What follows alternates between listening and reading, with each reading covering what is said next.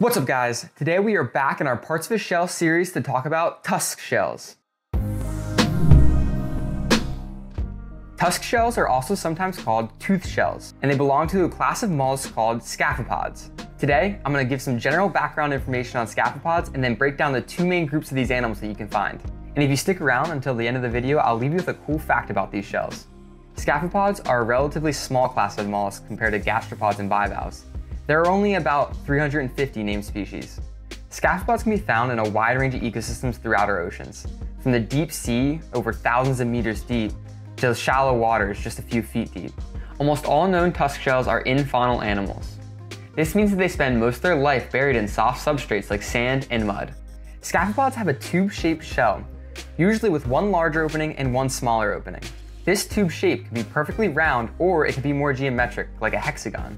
As you can see, one of these scaphopods has a very circular shell while the other has a very geometric shell. The wider opening of a tusk shell is called the ventral aperture. This is where the head and the foot extends from the shell, allowing the animal to interact with its environment. Tusk shells will extend their shell on the side of the ventral aperture as they grow, like this. The narrow opening of a tusk shell is called the dorsal aperture. The dorsal aperture sometimes has a small notch in it, so that's something to look for. As the animal grows, the dorsal aperture will actually be broken down to make this hole larger. There are two main groups of scaphopod, Dentaliida and Gadilida. You're probably more likely to find a Dentaliida on the beach, so we're going to start with those. One key characteristic of Dentaliida shells is that the widest point of the shell will be the ventral aperture. Dentaliida shells can have two different types of shell sculpture. They can be longitudinally ribbed, or they can be smooth. This is what a Dentaliida shell with longitudinal ribs would look like. This is what a Dentaliida shell with smoother sculpture would look like. And here's a few more examples of Dentaliida shells.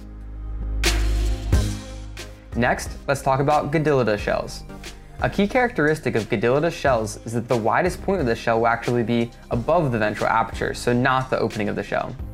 Gadilida shells can also only be found with smooth sculpture, so if you find a shell with longitudinal ribs, that rules Gadilida shells out. Here's an example of a Gadilida shell. And finally, here's our cool fact about these shells. Tusk shells were actually used as currency for many Native Americans of the Pacific Northwest, extending from the areas now called California all the way through to Alaska. These shells were also used to make jewelry and woven into clothing as displays of wealth.